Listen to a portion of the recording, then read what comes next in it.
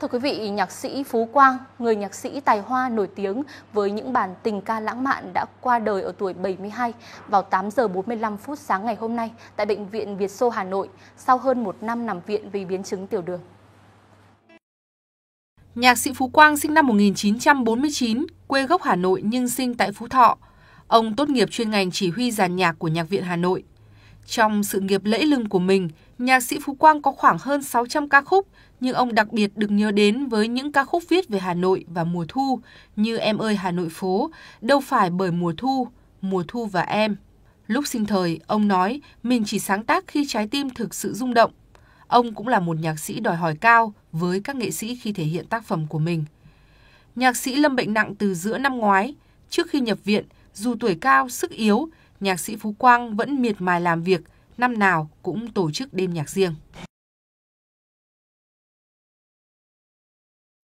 Thưa quý vị, với tỷ lệ phụ huynh đồng thuận thấp, thành phố Hồ Chí Minh quyết định chưa thực hiện dạy học trực tiếp đối với học sinh lớp 1 và trẻ mầm non 5 tuổi. Quyết định này vừa được Ủy ban nhân dân thành phố Hồ Chí Minh công bố vào sáng ngày hôm nay. Theo quyết định mới của Ủy ban nhân dân thành phố, những cơ sở giáo dục bảo đảm công tác phòng chống dịch bệnh sẽ được đón học sinh lớp 9, lớp 12 đến trường từ ngày 13 tháng 12. Việc dạy học trực tiếp được thí điểm trong 2 tuần, sau đó thành phố họp đánh giá rút kinh nghiệm trước khi quyết định mở rộng quy mô cho học sinh đến trường từ ngày 3 tháng 1 năm 2022. Trước đó vào chiều ngày 7 tháng 12, tại phiên thảo luận tổ kỳ họp Hội đồng nhân dân thành phố Hồ Chí Minh, ông Nguyễn Văn Hiếu, giám đốc Sở Giáo dục và Đào tạo thành phố cho biết, so với các năm học trước thì năm nay các em học sinh lớp 1 có thiệt thòi là chưa được đến trường bao giờ. Vì thế trong kế hoạch tham mưu cho Ủy ban nhân dân thành phố, Sở Giáo dục và Đào tạo đã chọn 3 khối lớp là lớp 1, lớp 9 và lớp 12 thí điểm đi học trực tiếp. Tuy nhiên, khi lấy ý kiến thì khối lớp 9 và lớp 12 nhận được sự đồng thuận cao, trong khi ở lớp 1 tỷ lệ đồng thuận chỉ chiếm 29%. Do đó, Sở Giáo dục và Đào tạo đã có kế hoạch trình Ủy ban nhân dân thành phố xem xét chưa cho học sinh lớp lớp mầm non 5 tuổi và lớp 1 đi học trực tiếp trở lại như kế hoạch trước đó. Thưa quý vị, Ủy ban nhân dân thành phố Hồ Chí Minh vừa chính thức phát động chiến dịch bảo vệ người thuộc nhóm nguy cơ nhằm phát hiện sớm người thuộc nhóm nguy cơ mắc COVID-19 để kịp thời điều trị đặc hiệu với thuốc kháng virus và theo dõi sức khỏe, hạn chế thấp nhất các trường hợp tử vong. Giai đoạn đầu của chiến dịch bắt đầu từ ngày 7 cho đến ngày 31 tháng 12, tập trung nguồn lực bảo vệ sức khỏe cho người trên 65 tuổi và người có bệnh nền. Sau đó sẽ tổ chức sơ kết rút kinh nghiệm để tiếp tục triển khai trong năm 2022 cho những trường hợp trên 50 tuổi Cụ thể, thành phố sẽ tiến hành khảo sát và lập danh sách. Ngay sau đó, những người thuộc nhóm nguy cơ theo danh sách sẽ được thực hiện xét nghiệm nhanh kháng nguyên, khuyến khích thành viên các hộ gia đình làm xét nghiệm nhanh cho người thuộc nhóm nguy cơ. Trường hợp không tự làm xét nghiệm được, trạm y tế, trạm y tế lưu động, tổ chăm sóc người nhiễm COVID-19 tại cộng đồng sẽ thực hiện việc xét nghiệm này.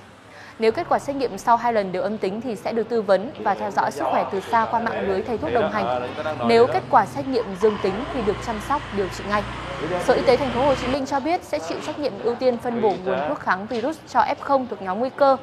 Việc ờ, xem xét cho nhóm người F0 thuộc nhóm nguy cơ được cách ly điều trị tại nhà hay tại bệnh viện cũng sẽ bảo đảm hài hòa giữa nhiều yếu tố, trong đó có nguyện vọng của người bệnh và gia đình. Song song với đó, việc tiêm vaccine phòng COVID-19 phải bảo đảm không bỏ sót đối với những người thuộc nhóm nguy cơ cũng sẽ được thành phố đẩy mạnh, dự kiến trước ngày 29 tháng 12 năm nay. Thưa quý vị, ờ, Bộ ờ, Giao thông Vận tải vừa có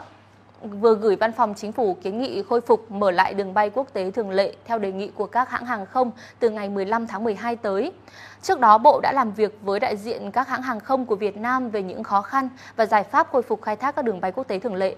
Các hãng hàng không, doanh nghiệp hàng không đều kiến nghị nối lại các chuyến bay thường lệ quốc tế chở khách. Tuy nhiên, để các đường bay hoạt động hiệu quả, các hãng đề xuất dỡ bỏ quy định cách ly đối với hành khách đã tiêm đủ liều vaccine phòng COVID-19 hoặc đã khỏi bệnh COVID-19 có kết quả xét nghiệm âm tính với SARS-CoV-2 trước chuyến bay. Đại diện các bộ ngành cũng bày tỏ quan điểm thống nhất chủ trương và sự cần thiết khôi phục khai thác hàng không quốc tế, phục vụ nhu cầu đi lại của người dân, du khách và thích ứng linh hoạt, hiệu quả với dịch COVID-19. Trong đó, Bộ Y tế đang xây dựng hướng dẫn nới lỏng quy định cách ly đối với khách nhập cảnh. Bộ Ngoại giao đang đàm phán với các đối tác để công nhận lẫn nhau về hộ chiếu vaccine.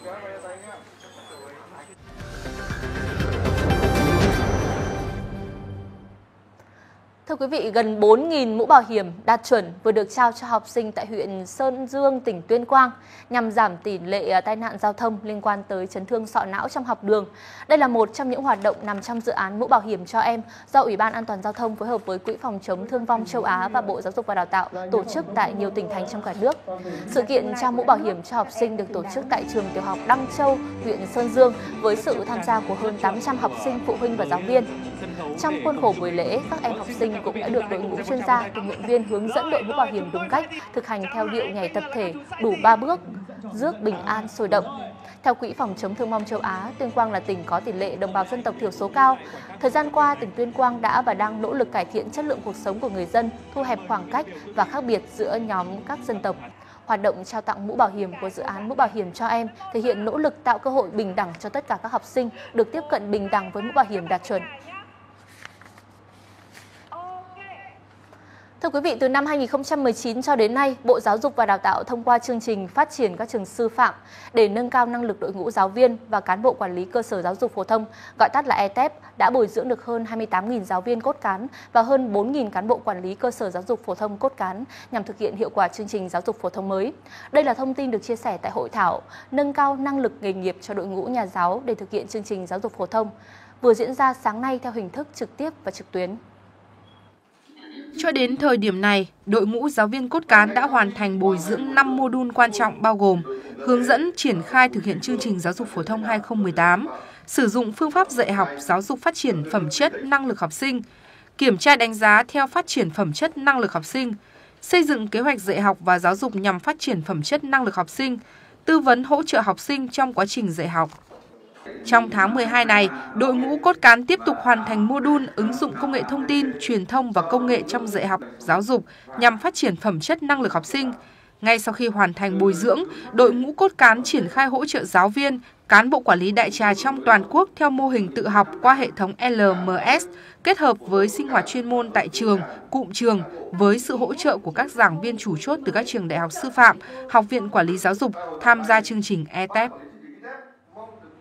Thưa quý vị, Viện Nghiên cứu Công nghệ vì Cộng đồng TFGI với sự hỗ trợ của Grab Việt Nam vừa tổ chức buổi tọa đàm nền tảng số tăng trưởng trong tương lai. Buổi tọa đàm đã chia sẻ kết quả nghiên cứu của báo cáo kinh tế nền tảng chất xúc tác cho sự tăng trưởng số tại khu vực Đông Nam Á do TFGI vừa thực hiện. Các đại biểu tham dự đã trao đổi một số vấn đề nhằm khai mở những tiềm năng của nền kinh tế số của Việt Nam.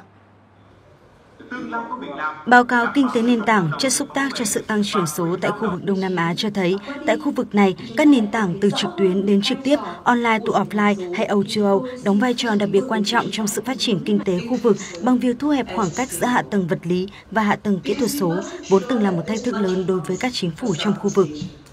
Tại buổi tọa đàm, các chuyên gia đã khẳng định những lợi ích mà các nền tảng O2O mang lại càng ý nghĩa hơn trong bối cảnh đại dịch COVID-19 khi người dùng dễ dàng thích ứng với giãn cách xã hội bằng việc đáp ứng các nhu cầu thiết yếu hàng ngày nhưng vẫn đảm bảo an toàn. Bên cạnh đó, các nền tảng O2O còn cho phép các doanh nghiệp siêu nhỏ, nhỏ và vừa đa dạng hóa nguồn doanh thu và duy trì hoạt động kinh doanh trong giai đoạn giãn cách. Cơ chế chính sách cho phát triển nền kinh tế số sẽ trở thành chìa khóa cho sự phát triển của Việt Nam trong thời gian tới. Điều đó cho thấy cái vai trò rất quan trọng của một cái diễn đàn quốc tế để góp sức cho chính phủ Việt Nam và cho cộng đồng doanh nghiệp Việt Nam trong những cái nỗ lực bứt phá vượt lên trong nền kinh tế số. Chỉ thị số 01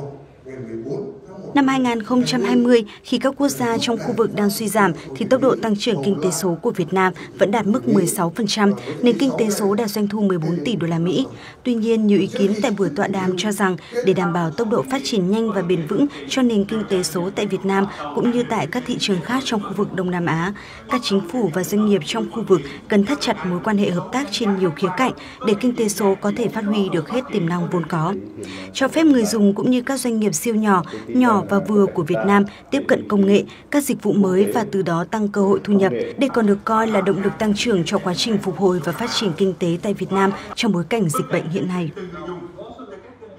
Thưa quý vị, sau thời gian bị hoãn vì dịch bệnh COVID-19, lễ vinh danh các doanh nghiệp niêm yết có hoạt động quan hệ nhà đầu tư tốt nhất năm 2021 IA Awards vừa được tổ chức tại thành phố Hồ Chí Minh. Đây là sự kiện thường niên vinh danh các doanh nghiệp niêm yết đạt chuẩn công bố thông tin nhằm mục tiêu cải thiện về minh bạch thông tin trên thị trường chứng khoán, gia tăng chất lượng thông tin công bố và niềm tin của nhà đầu tư, nâng cao nhận thức về vai trò và tầm quan trọng của hoạt động IA.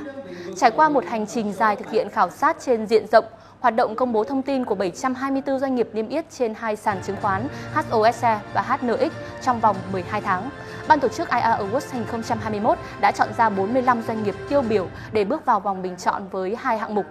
Doanh nghiệp niêm yết có hoạt động IA được nhà đầu tư yêu thích nhất và doanh nghiệp niêm yết được các định chế tài chính bình chọn theo ba nhóm vốn hóa. Đã có 14 doanh nghiệp được vinh danh, ở nhóm vốn hóa lớn Large Cap có 3 doanh nghiệp có hoạt động IA được các nhà đầu tư yêu thích nhất là công ty cổ phần tập đoàn Hòa Phát, Ngân hàng Thương mại Cổ phần Sài Gòn Thương tín Sacombank và công ty cổ phần tập đoàn đầu tư địa ốc Novaland. Đây là năm thứ hai liên tiếp Novaland được cộng đồng nhà đầu tư bình chọn là doanh nghiệp có hoạt động IA tốt nhất năm 2021.